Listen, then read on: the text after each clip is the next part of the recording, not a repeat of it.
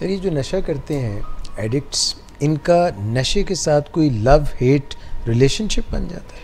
नशे की बीमारी में लव हेट रिलेशनशिप होता है, क्योंकि जब नशे की बीमारी नहीं आई होती तो लोग नशा करते हैं, वो अच्छा महसूस करते हैं, नशा उतर जाता है तो वो वापस पहले वाली पोजीशन में आ जाते हैं। लेकिन जब नशे की बीमारी होती है और लोग नशा करते हैं, एक तो उन्हें बेमौका और हर रोज़ नशा करना पड़ता है, अगर वो नहीं भी चाहते और क्वांटिटीज़ पे उनका कोई इख्तियार नहीं है और नशे का असर कम होने लगता है। ऐसे वो कहते हैं कई दफ़ा मरीज़ के, जैसे लगता है नशे में बरकत नहीं रही।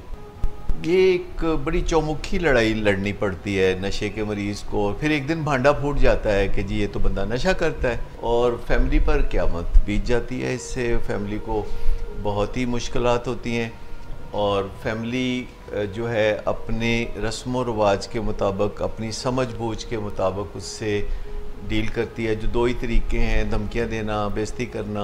अपनी कॉमन सेंस के तहत वो मरीज़ के साथ स्कॉट करना शुरू कर देते हैं उसको और टोटके इस्तेमाल करते हैं। तो हर फैमिली तकरीबन दुनिया भर में एक जैसे टोटके करती है कि कभी मरीज़ पे इनाम इकराम की बारिश करना कभी उसको फिर डांट डबट करना कभी उसको महदूद कर देना किसी जगह।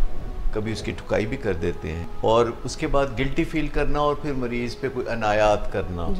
ये इनेबलिंग कहलाती है। फिर मरीज़ से वादे लेते हैं जो कि दुरुस्त नहीं है। आप कभी भी किसी मरीज़ से वादा नहीं लेते। आप उसके अंदर इलाज की रगबत पैदा करते हम्म। तो अगर से विल का बीमारियों के इलाज से बड़ा गहरा ताल्लुक है लेकिन ये काफ़ी लंबी छलांग है जो फैमिली मेंबर्स चाहते हैं कि मरीज़ उनको नशा छोड़ के दिखा दे। तो ऐसा ज़्यादा देर मुमकिन नहीं होता। तो ये कहने की बजाय कि तुम नशा छोड़ो, ये कहना चाहिए कि तुम ट्रीटमेंट सीख करो, तुम इलाज की तलाश में निकलो।